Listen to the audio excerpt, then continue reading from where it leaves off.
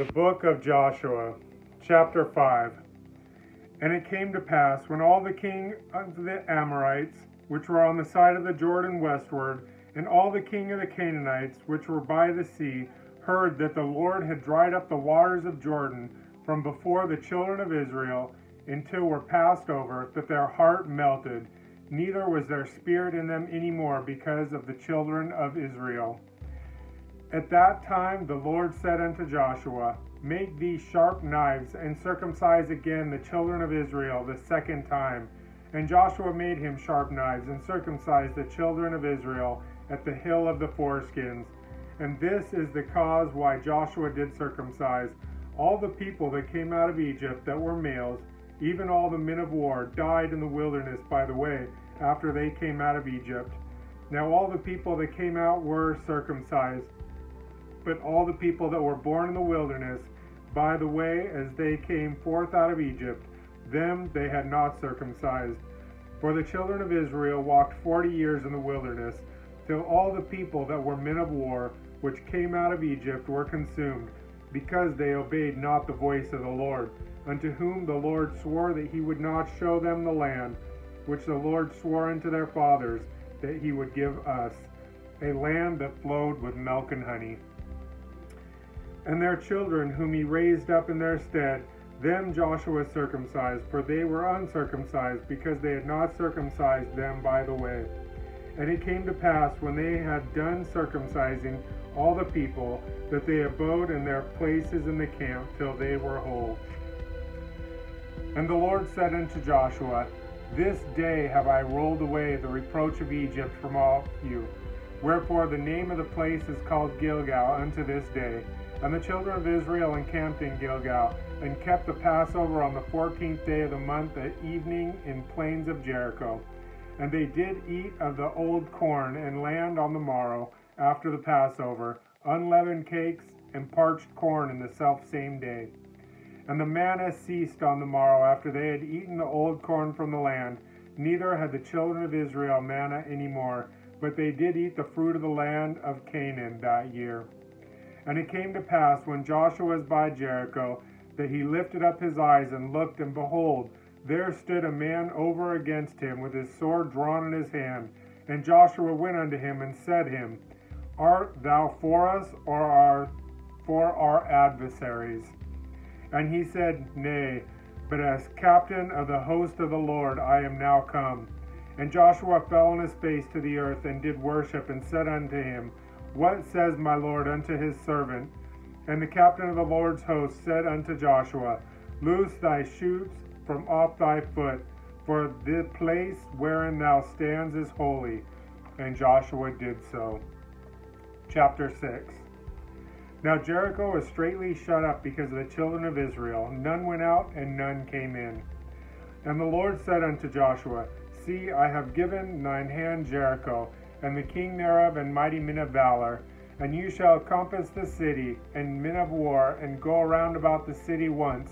Thou shalt do six days. And the seven priests shall bear the ark seven trumpets of ram's horns.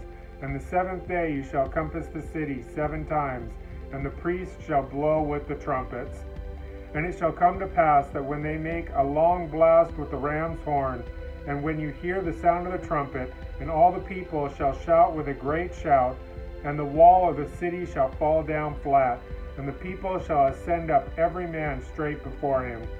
And Joshua the son of Nun called the priests, and said unto them, Take up the ark of the covenant, and let seven priests bear seven trumpets of ram's horns before the ark of the Lord. And it came to pass, when Joshua had spoken unto the people, that the seven priests bearing the seven trumpets of ram's horns, passed on before the Lord, and blew the trumpets, and the ark of the covenant, and the Lord followed them. The ark of the covenant of the Lord followed them. And the armed men went before the priests that blew with the trumpets, and the reward came after the ark, the priests going on and blowing with the trumpets. And Joshua had commanded the people, saying, you shall not shout nor make any noise with your voice, neither shall any word proceed out of your mouth until the day I bid you to shout. Then shall you shout. So the ark of the Lord compassed the city, going about it once. And they came unto the camp, and lodged in the camp. And Joshua rose early in the morning, and the priests took up the ark of the Lord. And the seven priests, bearing seven trumpets of ram's horns before the ark of the Lord, went out continually, and blew with the trumpets, and the armed men went before them. But the reward came after the ark of the Lord, and the priests going on and blowing with the trumpets. And on the second day they compassed the city once, and returned into the camps. So they did six days. And it came to pass on the seventh day that they rose early about in dawning of the day, and compassed the city after the same manner seven times. Only on that day they compassed the city seven times. And it came to pass at the seventh time, when the priests blew with the trumpets, Joshua said unto the people, Shout, for the Lord has given you this city, and the city shall be accursed, even it and all that are therein, to the Lord. Only Rahab and harlot shall live, she and all that are within her in the house, because she did hide the messengers that we sent. And you in any wise keep yourselves from the accursed thing, lest you make yourselves accursed, when you take of the accursed thing and make the camp of Israel accursed, and trouble it. But all the silver and gold vessels of brass and iron are consecrated unto the Lord. They shall come into the treasury of the Lord. So the people shouted when the priests blew with the trumpets, and it came to pass, when the people heard the sound of the trumpet, and the people shouted with a great shout, that the wall fell down flat, so that the people went up into the city, every man straight before him, and they took the city. And they utterly destroyed all that was in the city, both man, woman, young and old, ox, sheep, donkey, with the edge of the sword. But Joshua had said unto the two men that had spied out the country, Go into the harlot's house, and bring out thence the woman and all that she has, as you swore unto her. And the young men that were spies went in, and brought out Rahab and her father, and all and her mother, her brethren, and all that she had, and they brought out all her kindred, and left them without the camp of Israel. And they burnt the city with fire, and all that was within. Only the silver and the gold and the vessels of brass and iron they put in the treasury, the house of the Lord. And Joshua saved Rahab the harlot alive, and her father's household and all that she had.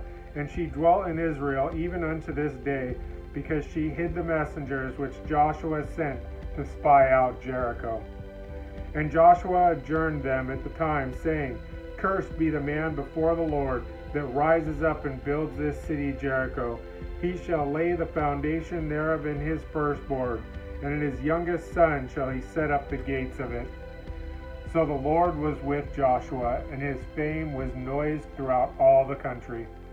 This is the word of the Lord. Thank you, Lord. I love you with all my heart. In your loving name I pray. Amen.